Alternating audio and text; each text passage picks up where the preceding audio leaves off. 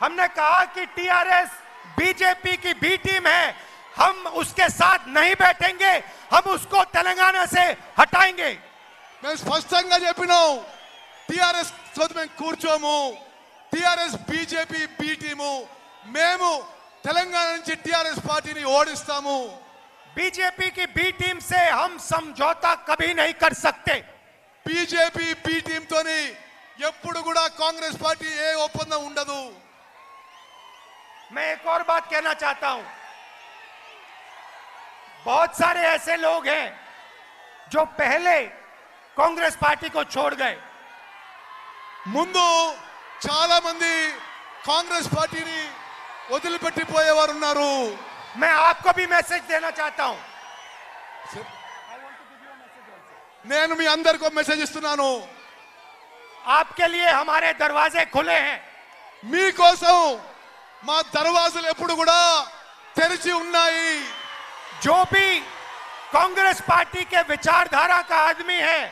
उसके लिए हमारे दरवाजे खुले हैं కాంగ్రెస్ పార్టీ ఆలోచన విధానం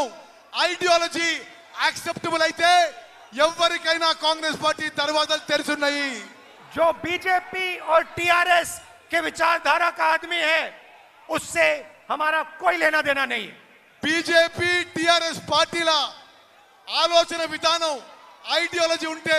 మాకు వాళ్ళతో ఎటువంటి సంబంధం లేదు और तेलंगाना को एक और बात समझनी चाहिए तेलंगाना के युवाओं को एक और बात समझनी चाहिए తెలంగాణ యువకులకి ఇంకొక విషయం అర్థం కావాలి जो केसीआर जी ने भ्रष्टाचार किया उसके कारण नरेंद्र मोदी का दबाव उन पर है కేసీఆర్ అవినీతికి కారణం నరేంద్ర మోదీ గారి బ్లెస్సింగ్ ఉండడం నరేంద్ర మోదీ గారు పట్టించుకోవడం అని మనం చేస్తాను लिकर स्कैम में जो भ्रष्टाचार किया वो सब एजेंसीज को मालूम है కేసీఆర్ ఏమేం స్కాములు చేసిండో నరేంద్ర మోదీ ఏజెన్సీలకి తెలుసు इसीलिए मैंने कहा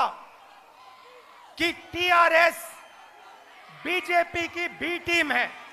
అందుకోసమే బీఆర్ఎస్ బీజేపీకి బి టీము और उन्होंने ये बात मान ली వాళ్ళు ఒప్పుకున్నారు ఇది और अपना नाम बदल दिया వాళ్ళు అందుకోసమే టిఆర్ఎస్ నుంచి బీఆర్ఎస్ అయిపోయినరు बीआरएस का मतलब बीजेपी रिश्तेदार समिति బీజే బీఆర్ఎస్ అంటే బీజేపీ రిశ్తేదార్ సమితి అంటే బీజేపీ బంధువుల పార్టీ और इनको हम यहां से हरा के दिखाएंगे మేము తప్పనిసరిగా బీఆర్ఎస్ ని తెలంగాణలో ఓడిస్తాము कांग्रेस पार्टी के कार्यकर्ताओं से कहना चाहता हूं आप हमारी रीढ़ की हड्डी हो కాంగ్రెస్ కార్యకర్త నేను సభాముఖం చేశాను మీరు మా వెన్నుముక ఇది और अपना नाम बदल दिया వాళ్ళు అందుకోసమే